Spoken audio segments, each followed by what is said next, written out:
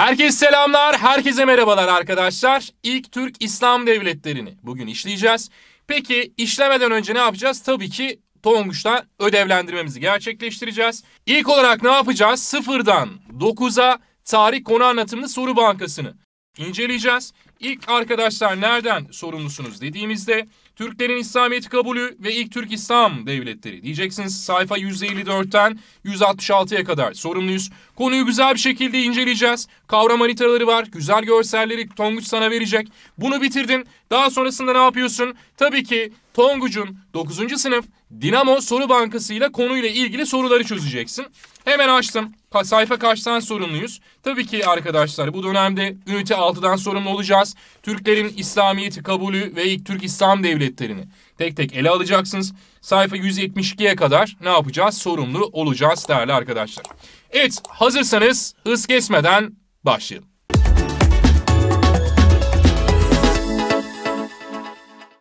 Şimdi ilk olarak değerli arkadaşlar bugün neler öğreneceğiz bu konu içerisinde? İlk Türk İslam devletlerini, Türklerin İslamiyet'e geçişinin kabulü ve yine bu dönemde Türk İslam Devleti kültür ve medeniyeti birlikte göreceğiz. Türklerin İslamiyet'e geçişini kolaylaştıran etkenler neler oldu? Peki Türkler İslamiyet'e nasıl geçtiler? Bu dönemde Abbasilerle Çinliler arasında 751 yılında bir savaş gerçekleşiyor. 751 yılında gerçekleşen savaşa ne diyeceğiz biz? Talas Savaşı diyorsunuz. Talas Savaşı'nda Türkler bu dönemde Arapları destekleyecekler. Arapları desteklemeleriyle birlikte gök tengri inancı ile İslamiyet'in birbirine yakın olduğunu görüyorlar. Peki İslamiyet'e geçişi kolaylaştıran etkenler neler oldu Türkler için? Bir, tür ahlak anlayışıyla İslamiyet'in birbirine benzemesi. Çünkü biz herhangi bir kötülük yapmaya odaklı değiliz. Aynı zamanda gök tanrı inancında yer alan bazı unsurlar ahiret, cennet, cehennem yani e, uçma ve tamu gibi kavramların İslamiyet'te cennet ve cehennem anlamına gelmesi yine bulunması. Din adamlarının ayrıcalıklı bir sınıf olmaması yani hangi statüde eşit statüde kabul edilmesi bu dönemde. Abbasilerin Emevilere göre daha hoşgörülü bir politika izlemesi. Bunun öncesinde gördünüz. Emevilerin nasıl bir politikası vardı? Arap olmayanlara mevali gözüyle bakıyordu. Yani köle gözüyle bakmıştı. Bu yüzden de Türkler biliyorsunuz bu duruma gelemeyecekti ve İslamiyet'i kabul etmeyecekler. Ama Abbasiler diyor ki hoşgörülü bir yapıya sahip. Gel ne olursan ol yine de gel diyecek. Bu da Türklerin İslamiyetle tanışmasına önemli bir unsur olacak. Her iki dinde de tek tanrı inancının olması. Biliyorsunuz gök tanrı inancında yeri ve göğü yaratanın sadece bir tanrıya ait olduğunu. Mesela tanrı kızdığı zaman gök gürüldüyor inancı var mesela Türklerde. Türklerdeki cihan hakimiyeti nedir? Dünyaya hakim olma inancı İslamiyetle birlikte cihat anlayışıyla birbirine benzerlik göstermiş. Cihan dünya için, cihat ise din için yapılan savaş olarak ne yapılmakta? Bilinmekte. Peki Türkler İslamiyet'e 751 yılında kitleler halinde geçmeye başlamasıyla Türklerin İslamiyet'e hizmetleri neler oldu? Bu dönemde neler kattılar İslam medeniyetine? İslam kültürü ve medeniyeti geniş bir alana yayılacak bu dönemde. Türkler biliyorsunuz çünkü hangi özelliği ön plana çıkıyor? Savaşçı özelliği ön plana çıkmasıyla İslamiyet'i geniş bir coğrafyaya yayacaklar. Yine Türkler İslam dünyasını Haçlılar, Bizans ve Moğollara karşı koruyarak bu dönemde bir nevi İslam dünyasının koruyuculuğunu da ne yapmışlardır? Üstlenecekler. Abbas halifesini dış baskılara karşı korumuşlardır. Bunun en güzel örneklerinden Gazneli Mahmut, yine bu dönemde Sultan Baybars, yine arkadaşlar e, Sultan Alparslan ve Tuğrul Bey diyebilirsiniz. İslam bilim ve kültürüne önemli kişiler kazandıracaklar ve yine o dönemde bir İslam Rönesansı Türklerle birlikte yaşanacak. Şimdi gelelim ilk Türk İslam devletlerimizin içerisinde kimi göreceğiz? Karahanlılar 840 ve 1212 yıllar arasında. Şimdi bu dönemde hangi topluluk içerisinde kuruluyor dersek Karluk, Yağma, Çiğil ve Basmil topluluklar üzerinde ne yapılmıştır? Kurulmuştur diyeceksiniz. Peki devletin bilinen ilk kurucusu kimdir dersem Bilgekül Kadir Han olarak ne yapılmakta? Bilinmekte. Peki bunlar nerede kuruldular dediğimde Orta Asya coğrafyasında ne yapılmışlardır? Kurulmuşlardır. Kullanış olarak bu dönem içerisinde Hakaniye Türkçesi ve İlganlar arkadaşlar bu dönemde mücadele edecekler. Peki İslamiyet bu dönemde mi kabul ediliyor? Tabii ki hayır. Kimin döneminde? Satuk Buğra Han döneminde ne yapıldı? arkadaşlar İslamiyet kabul edilecek. İslamiyet'in kabul edilmesiyle birlikte tabii ki ister istemez Arap sentezini kendimizde alacağız. Ama şunu unutmuyorsunuz tam anlamıyla almayacağız. Satuk Buğra bu dönemde bir isme kavuşacak. Abdülkerim ismine kavuşuyor ve bu dönemde İslamiyet'in etkisi artık Türklerde yavaş yavaş ne yapılmaya başlayacak? Görülmeye başlanıyor. Peki devleti en parlak dönemini kim yaşattı diye sana soru sordular hocaların. Ne diyeceksin? Yusuf Kadir Han döneminde devlet en parlak dönemini ne yapmıştır? Yaşamıştır. Karahanlılar ilk Türk İslam devletlerinin yanı sıra ilk Türk devletlerinin kültürü ve medeniyetini hiçbir şekilde bırakmayacaklar. Peki ben bunu nereden anlıyorum? Biliyorsunuz ilk Türk devletlerinde eşit eğitim sistemi vardı. Herkese eşit davranıyordu. Bu dönemde hükümdarım Tapkaç Buğra Han döneminde diyor ki benim ülkemde yaşayan herkes eğitimden sorumludur. Bu yüzden de herkese nasıl eğitim veriyorum? Burslu eğitim veriyorum. O zaman burslu eğitim veriyorsam Karahanlıların hangi özelliğini geliştiğini göreceksiniz. Sosyal devlet anlayışının geliştiğini ne yaparım ben bu dönemde? Görürüm. Şimdi Karahanlılar bu dönemde eski Türk adet ve geleneklerinin yanı sıra ticarete de önem veriyorlar. Peki şöyle bir düşünün. Orta Asya'nın hakim olmaya çalıştığım en önemli yapı neydi? İpek yoluydu. İpek yolunu daha iyi hale getirebilmek için ne yapmanız lazım? Yollara dinlenme alanları yapmam gerekiyor. Peki ben Türk İslam mimarisinin ilk eseri diye kabul edebileceğim eserlerden bir tanesini verecek. Karahanlılar. Peki ne diyeceğiz biz buna? Kervansaray ya da diğer ismiyle Ribat diyeceğiz. Şunu unutmuyorsunuz Ribat kervansarayların bir tık daha küçüğü olarak ne yapılmaktadır? Kabul edilmektedir. Şimdi hatırlayın hemen bir çapraz yaptım. Şimdi ben bu dönemde burslu eğitim veriyorsam, eğitime önem verdiysem, eğitimin olmazsa olmaz kademeleri neresidir? Medresedir. Şimdi medresede Semerkant dediğimiz bir bölge bu dönemde Türk İslam devletleri içerisinde önemli bir ilim merkezi haline geliyor. Semerkant diyeceksiniz. Yine bu dönemde tabii ki Karahanlılar Türk İslam mimarisinin ilk örneklerini ne yapıyor dedik? veriyor dedik bu dönemde. Cami arkadaşlar ne yapılmıştır? Yapılıyor. En önemli eserlerden bir tanesi Degaron Camii olarak ne yapılmakta bilinmekte. Yine bu dönemde posta teşkilatını kuracağım. Türklerin bilinen ilk düzenli posta teşkilatını kuruyorlar. Şimdi ben sana bir soru sormak istiyorum. Posta teşkilatını kurduysam hemen nasıl bir yorum yapacaksınız? Karahanlılar hangi otoriteye önem verdiğinin göstergesi merkezi otoriteye önem verdiğinin göstergesi olarak ne yapılmakta bilinmekte. Aynı zamanda hastane yani bimerhane adı verilen hastaneler yapacaklar. Yine gulam sistemini oluşturmuşlardı. Peki gulam sistemi nedir? Hemen Osmanlı'ya gidin aklınız oradan gelebilir. Devşirme sistemine benzeyecek arkadaşlar. Savaş alanında esir düşürdüklerimin beşte birinin devşirilerek askere alınması. Yani yabancıların askere alınmasına gulam sistemi. Türk İslam devletlerinde ilk kez kimde göreceğiz dersek Karahanlılarda ne yapılmaktadır? Görülmektedir diyeceksiniz. Daha sonra Karahanlılar Türk İslam devletlerinde nelerden ön plana çıkmıştır dersek bakın ikili devlet teşkilatıyla örgütlenmişlerdir. Saray dili, ordu dili, halk dili nedir? Türkçedir bu dönemde. Yine Türk İslam edebiyatında geçiş eserleri Karahanlılar döneminde görülür. Şunu unutmuyorsunuz. Eski geleneklerime devam etmişim. O zaman ben İslamiyet'i Karahanlılarda sadece ne olarak almışım ele? Din olarak almışım. Kültürünü pek fazla kendi içime almıyorum diyeceğiz. Karahanlılar İslamiyet'i kabul etmesine rağmen milli benliklerini korudular. Peki daha yeni söyledik, kısa bir bahsettik. Nereden anlıyorum? Bir, Türkçeyi resmi dil ilan edeceğim. Bu birinci unsurum. İki, Arap alfabesi yerine öz Türkçem olan Uygur alfabesini kullanmam. Yine ilk Türk devletlerine ait yönetim geleneklerini devam ettirme. Yani kaçlı teşkilat, ikili devlet teşkilatını benimsemeleri ve kut inancı. Ama kut inancının yanı sıra hani kutu inancı Allah inancına dönüşecek. Yine Boylar Federasyonu şeklinde örgütlenmesi de Karahanlıların uzun soluklu olmamasını sağlayacak. Şimdi gelelim Gaznelilere. Yine kurulan bir diğer devletim. Devletin bilinen ilk kurucusu kimdir dersem Alp Tigin olarak ne yapacağız bileceksiniz. Bu dönemde yani bugün günümüzde Afganistan diye adlandırdığım bölgede kurulacak Yeminiler bu dönemde topluluk. Şimdi bu dönemde devlete peki en parlak dönemini kim yaşattı dersem Gazneli Mahmut yaşatacak. Gazneli Mahmut döneminde önemli bir şahıs yaşıyor. Kim dersek Biruni diyeceksiniz. Biruni'ye Gazneli Mahmut bir ünvan verecek. Diyecek ki sarayımın en değerli hazinesi diyor bu dönemde. Yine Gazneli Mahmut İslamiyet'i daha çok yayabilmek için, nereye yayabilmek için? Hindistan'a yayabilmek için 17 kere ne düzenliyor? Sefer düzenleyecek. Ve bu dönemde bugünkü Pakistan ve e, arkadaşlar Bangladeş'in Müslüman olmasına önemli katkı sağlamıştır. Şimdi hatırlayın Karahanlılara dönelim. Karahanlılarda gulam dediğim bir sistem oluşturuyordu. Gazneliler bunu geliştirerek Gulamanı Sarayı oluşturacaklar. Yani nedir? Artık devşirme diye adlandırdığım bu sistemde yer alan kişileri artık devlet kademelerinde ne yapmaya başlayacağım? Getirmeye başlıyoruz. Şimdi bu dönem içerisinde sonrasında Gazneli Mahmut Abbas halifesini koruduğu için bir ünvan alıyor. Hangi ünvanı almıştır dersem sultan ünvanını alacak. Ve unutmuyorsunuz Türk tarihinde ilk kez sultan ünvanını kullanan kimdir dersem Gazneli Mahmut olarak ne yapılmakta bilinmekte.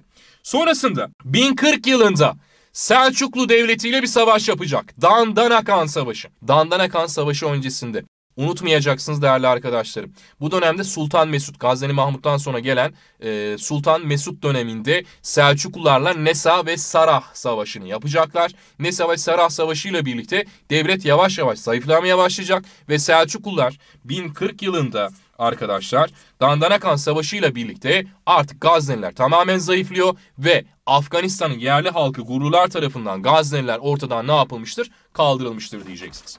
Gelelim Büyük Selçuklu Devleti'ne 1040 ve 1157 yıllarından bahsedeceğiz.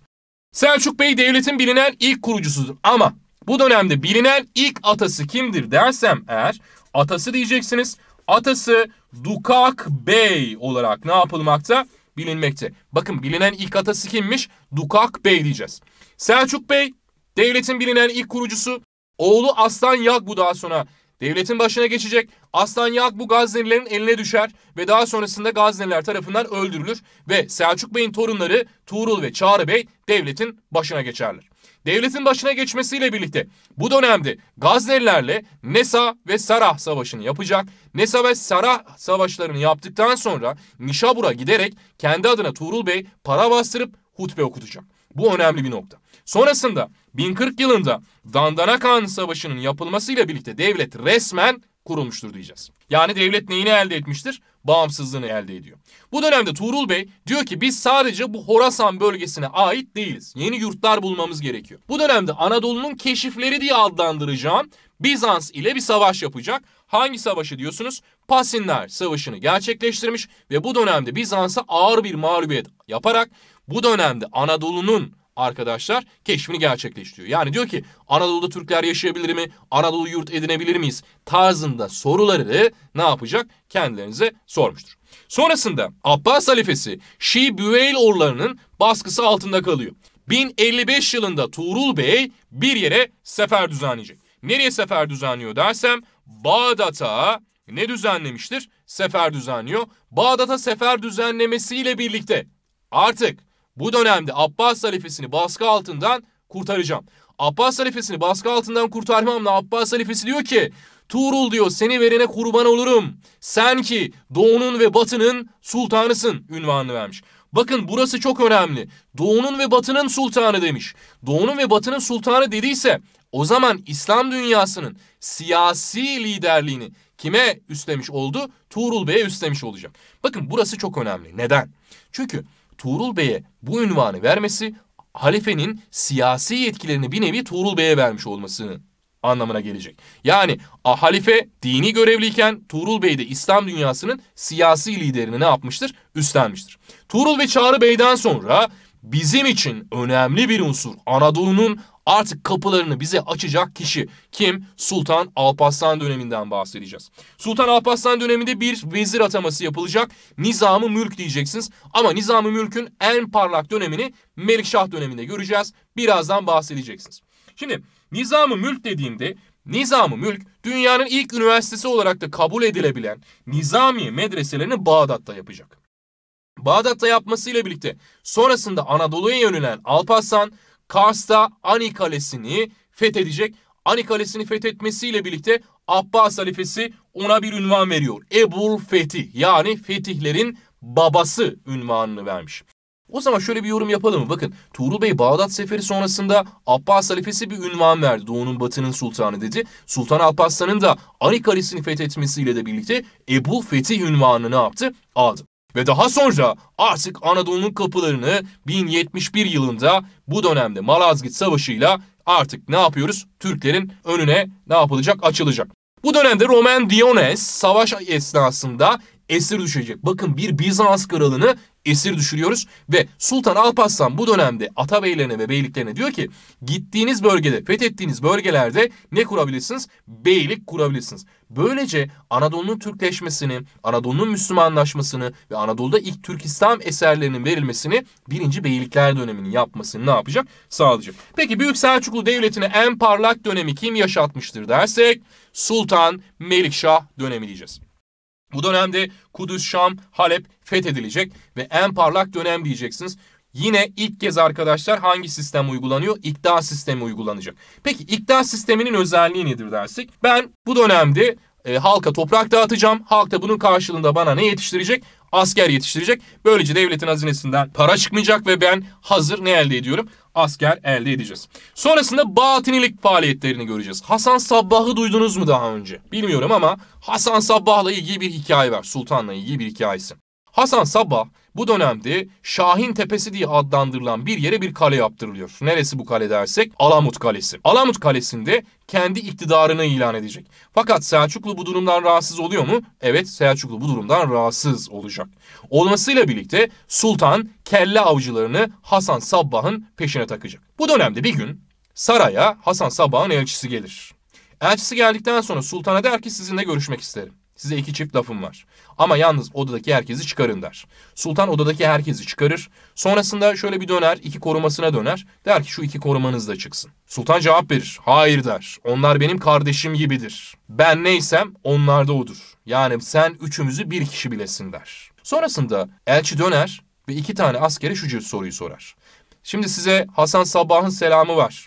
Kılıcınızı çekseniz sultanı öldüreceksiniz desem ne dersiniz der. O da emir ver der.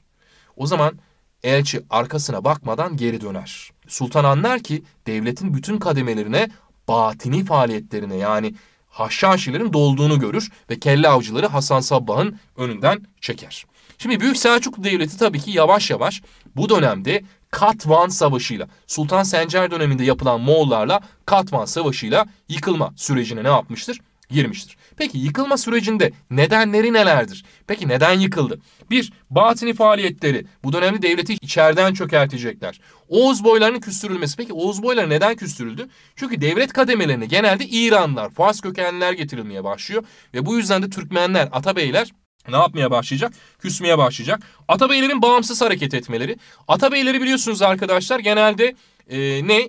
Hocalık görevini üstleniyorlar. Ama bulundukları bölgelerde hareket leri bağımsız oluyor. Bu da otoriteyi bozmuş mudur? Evet bu da otoriteyi bozacak. Daha sonrasında bir süreç işleyeceğiz. Ülke hanedanın ortak malıdır anlayışı. Şimdi ülke hanedanın ortak malı anlayışıysa herkes tahta hak iddia etmeyecek mi?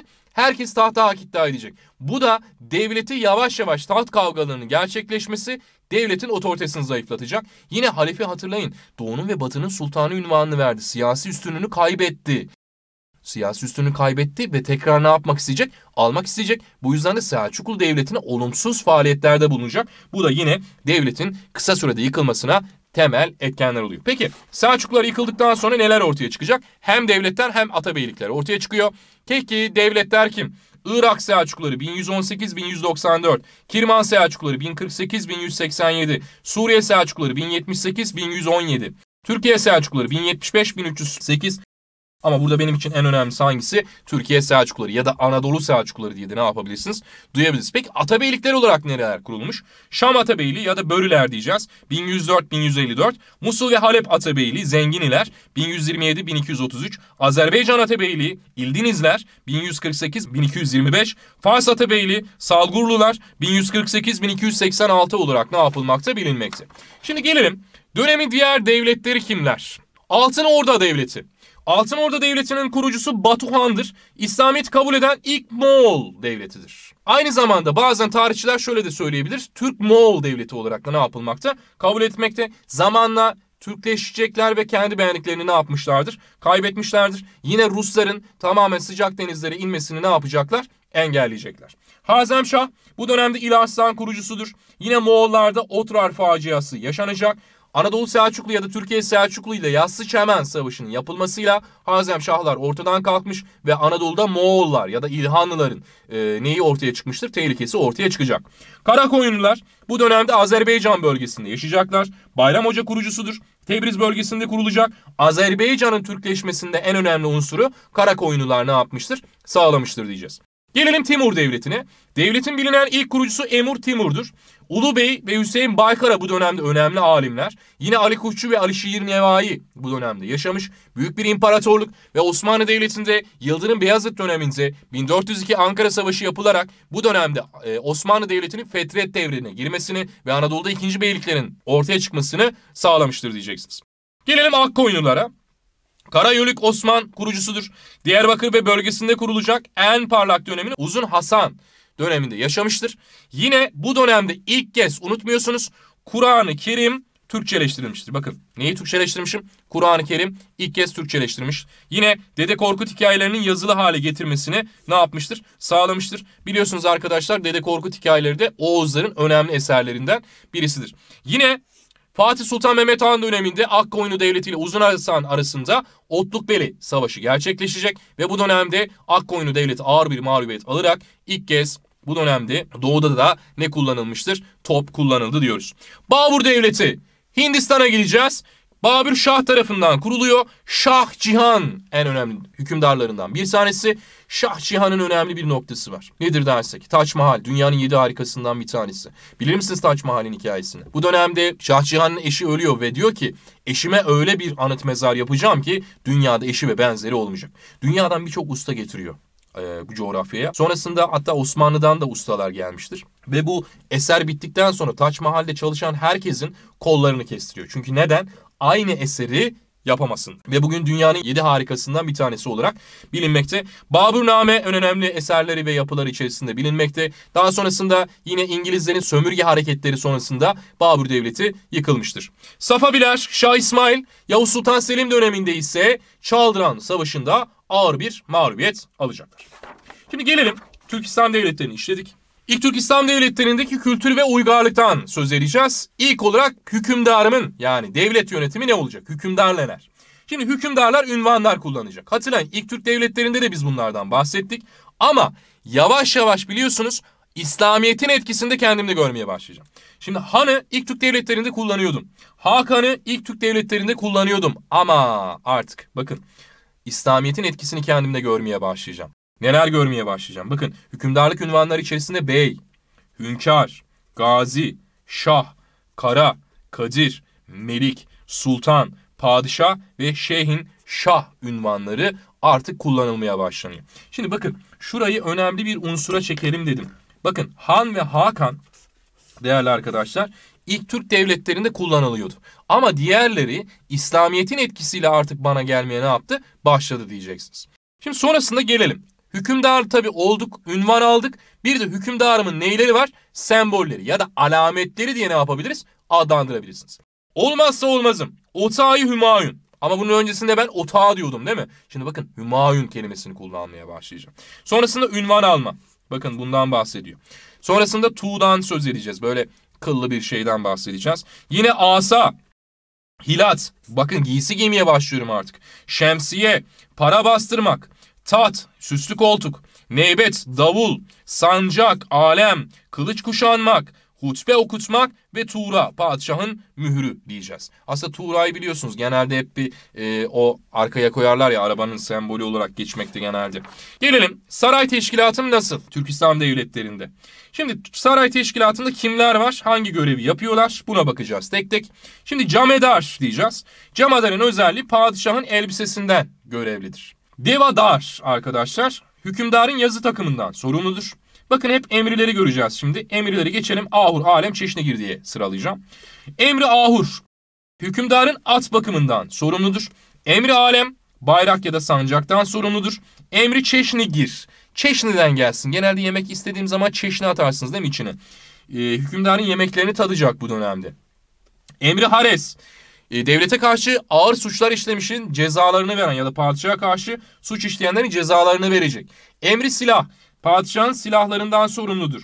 Emri şikar, padişahın av partilerinden ne yapacak? Sorumlu olacak. Gelelim ünvanlara devam ediyorum. Hacibül Hüccab ya da Ulu Hacip diyeceksiniz. Görevi nedir dersek saraydaki en e, yüksek görevlidir diyorsunuz Hacibül Hüccab için. Kapıcıbaşı devletin günlük hizmetini ne yapar? Gerçekleştirir.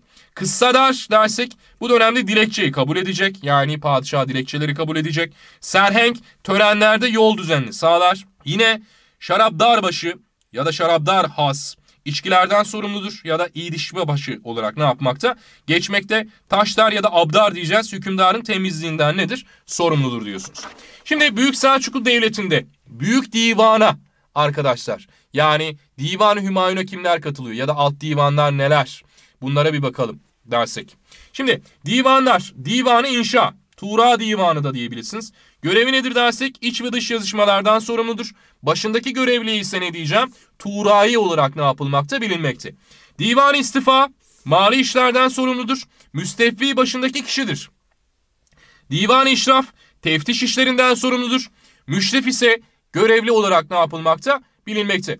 Divan-ı As, ordunun ihtiyaçlarını, ordunun masraflarını bu dönemde ne yapar? Karşılar. Başındaki kişi ise emri arz olarak ne yapacağız? Ele alacaksınız. Divanı mezalim, yüksek mahkeme. Bu dönemde mahkemelerin çözemediği, alt mahkemelerin çözemediği padişahın başkanlığında toplanan yüksek mahkemede çözülecek. Yani en büyük mahkememize divanı mezalim diyeceksiniz. Başındaki kişi kimdir dersem sultandır. Divanı berit, posta ve haberleşmeden sorumludur. Büyük Selçuklu Devleti'nde diyoruz arkadaşlar. Şimdi gelelim Türkistan devletlerinde ordu nasıl? Ordu yapısı nasıl gerçekleşecek? Şimdi ilk olarak Hassa askerleri, Gudamanı Saray, İktidar ordusu, eyalet askerleri, Türkmenler, yardımcı kuvvetleri görüyoruz. Peki hepsinin tek tek görevi neler? Bundan bahsedecek olursak. Hassa askerleri bakın Has. Hassa kimi korur bunlar? Sultanı koruyacaklar. Sultana bağlı özel birliklerdir. Hassa kuvvetleri. Gulamanı daha yeni söylemiştik arkadaşlar. Devşirmelerdi değil mi bunlar? Yani savaş alanında esir düşürdüklerimi ne yapıyordum? Devşirecektim. Sultana bağlı devşirilen askerler diyeceksiniz Gulamanı saray için. Ve saray ve padişahı korumakla görevlidirler. İkta hatırlayın ben halka toprak dağıtıyordum. Bunun karşılığında bana ne yetiştiriyordu? Asker yetiştiriyordu. İkta ordusuna diğer ismine sipahiler de ne yapılmakta? Denilmekte. İkta gelirleriyle beslenen atlı askerler olarak ne yapılmakta? Bilinmekte. Gelelim eyalet askerlerine.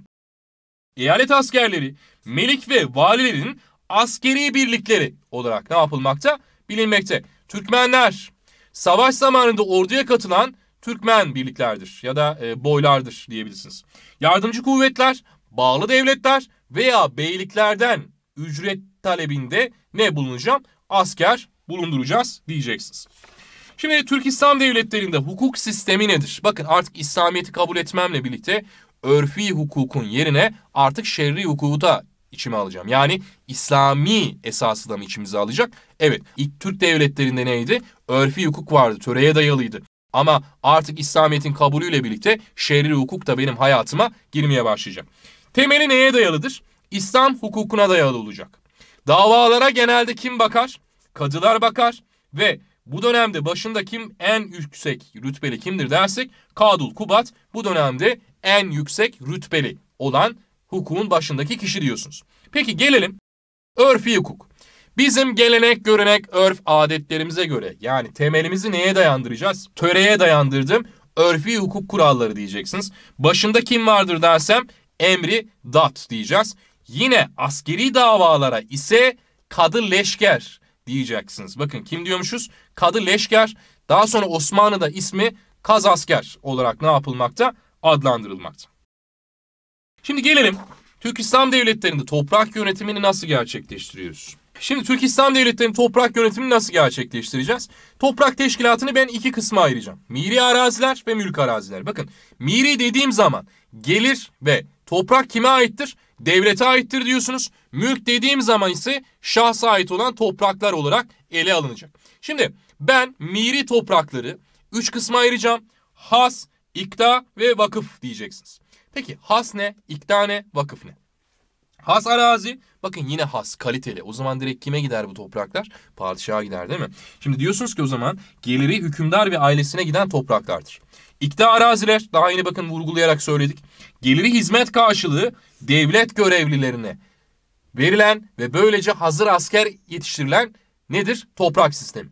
Vakıf ise Geliri arkadaşlar sosyal hizmetlere ayrılan topraklar diyeceksiniz. Yani sosyal hizmet nedir? Han, hamam, köprü, yol, kervansaray gibi yapımlarını kimler üstlenecek? Vakıf araziler ne yapmıştır? Üstlenmiştir diyorsunuz. Peki mülk arazi ya da mülk, mülk topraklar kime ait? Bakın şahıslara ait yani size ait. Siz bunu devredebilirsiniz, satabilirsiniz, miras bırakabilirsiniz, vakıf edebilirsiniz. Ama ben bu mülk araziyi inancıma göre de kaç ayıracağım? İki kısma ayırıyorum. Öşri araziler ve haraci araziler. Öşri dediğim zaman kime aittir diyorsunuz? Müslümanlara ait olan neyler diyeceğiz? Topraklar diyeceksiniz. Haraci dediğim zaman ise ne diyeceğiz? Gayrimüslimlere ait olan topraklardır. Bakın öşri Müslümanlara ait, haraci ise gayrimüslimlere ait topraklar. Şimdi gelelim eserlerden bahsedeceğiz. Edebiyatı işlediğinizde İslamiyet ile o dönemde Türk İslam Edebiyatı'nın geçiş eserleri diye adlandırdığımız dört tane temel eserimiz var. Bu dört tane temel eser kimin döneminde yazılmıştır dersem Kara Hanlı döneminde yazılacak arkadaşlar. Bakın hangi dönemde yazılmış? Kara Hanlı döneminde yazılıyor. Şimdi Karahanlı döneminde yazılan eserlerimizin özellikleri neler? Kutat Kubilik, Divanı Lügatı Türk, Atabetül Hakayık ve Divanı Hikmet. Şimdi ilk olarak arkadaşlar Kutat Kubilik'ten bahsedelim. Kutat Kubilik'i kim yazmıştır? Ne diyorsunuz hemen? Yusuf Has Hacip diyeceğiz arkadaşlar. Bu dönemde bu eseri yazan e, önemli e, edebiyatçımız. Sonrasında önemli nedir dersek şu anlama gelecek. Mutluluk arkadaşlar veren bilgi anlamına ne yapmakta? Gelmekte. Bakın mutluluk veren bilgi anlamına gelecek. Aynı zamanda bir şeyin ilk özelliğine sahip siyaset arkadaşlar name özelliğine ait ilk eser olarak ne yapılmakta? Bilinmekte. Sonrasında gelelim Divanı Lügatı Türk. Kimi bileceğiz burada? Kaşgarlı ne diyorsunuz? Mahmut diyorsunuz bu dönemde. Kaşgarlı Mahmut bunu yazmış ve Kaşgarlı Mahmut bizim neyimiz aslında? Yani Divan Lügat Türk neyimiz? Atasözlüğümüz. Şimdi atasözlüğün özelliği ne? Şunu söylüyorsunuz. Diyor ki Türkçe Arapçadan daha üstün, daha kaliteli ve daha önemli bir dil olduğunu ne yapacak? Vurgulayacak bana. Sonrasında Atabetül Hakayık'ın özelliği nedir? Bunu yazan kimdir dersek Edip Ahmet ne diyorsunuz arkadaşlar? Yükneki diyeceğiz. Yükneki bu eseri yazmış. Şimdi nedir özelliği dersek nasihat name özelliğini ne yapmakta? Taşımaktadır diyeceksiniz. Bu dönem içerisinde değerli arkadaşlar. Din ve ahlakı vurgulayacak bu dönemde.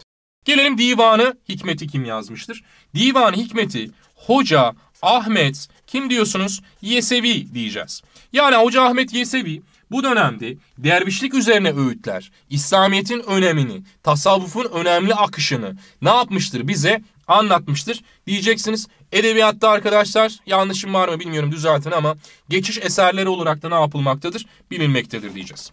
Şimdi gelelim Türk İslam bilginlerine. Kim neler yapmış hangi hizmetlerden ee, bahsedelim. Harezmi. Matematikte sıfırı ilk kez kullanmıştır. Eserleri Kitabul Cebir ve Beül e, Mukavbele arkadaşlar en önemli eseridir. Farabi Birleşmiş Milletler fikrini ortaya atan ilk kişidir bu dönemde Farabi. Avrupa'da muallim sani olarak adlandırılmakta. En önemli eseri El Medinetül Fazıla en önemli eseri olarak bilinmekte. İbn Sina Avicenna olarak Avrupa'da bilinecek ve Avrupa'da hala İbn Sina'nın kitapları ne yapılmakta? Okutulmakta. Peki okutulan kitap ne? El Kanun Fitti Tıp arkadaşlar en önemli eseri olarak bileceğiz. Tıbbın hükümdarı olarak ne yapılmakta? Bilinmekte. Biruni'ye gelelim. Biruni daha yine Gazneliler işlerken söylemiştik. Sarayımın en değerli hazinesi olarak bilinmekteydi. El Asar il Baki. En önemli eserlerinden bir tanesi. Gazali Nizamiye medreselerinde baş müderrislik yapmıştır. Eserleri İhayül, Ulumiddin ve Fatüvül Felafise arkadaşlar en önemli eseri diyeceğiz. İbn Rüşd Averellos diye geçecek Avrupa'da. Aristo'yu Avrupa'ya tanıtmıştır. Eserleri Kitabul Mukallat ve Mekallayül Mizaç arkadaşlar en önemli eseridir. Ömer Hayyam, Celali Takvim. Peki Celali Takvim'i kime sunmuştur? Sultan Melik Şah'a ne yapacak bu dönemde? Sundu diyeceksiniz.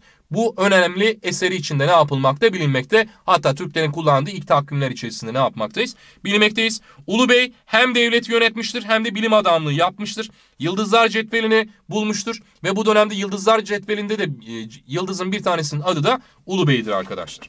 Şimdi gelelim Türk İslam Devletleri'nde mimari yapılar neler? Kullanım amaçlarına göre neler yapılmış? Şimdi bakacağım tek tek cami, mescit, türbe, kümbet, medrese, külliye, tekke ve zaviye diyeceksiniz. Bu dönemde şimdi bakın bu dönemde yapılan eserler neler arkadaşlar dersek. Daru Şifa. Şimdi Daru Şifa dediğim zaman ne geliyor? Hastane gelecek. Darul Afiye, Bimerhane yine hastane, Bimeristan, Maristan, Darus Sıha ve Şifahane bunlar hastane amaçlı kurulacak.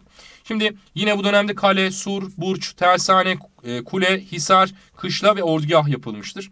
Yine bu dönemde saray, köşk, ev, köprü, çeşme, hamam, imarathane ve taphane yapılacak. Yine ticaretsel anlamda Ribat, Kervansaray, Han, Bedesten, Arasta, Kapan ve Çarşı ne yapılmıştır? Yapıldı diyorsunuz değerli arkadaşlar. Peki biz bugün neler öğrendik? Türkistan devletlerini gördük. Yine Türkistan devletleri içerisinde kültür medeniyeti, önemli edebi çalışmaları, kültürsel mimarilerini birlikte gördük değerli arkadaşlar. Şimdi sizin için çok güzel bir ödüllü soru bırakıyorum. Cevapları yorum kısmına bekliyorum. Kendinize iyi bakın. Hoşçakalın. İyi çalışmalar. Bay bay.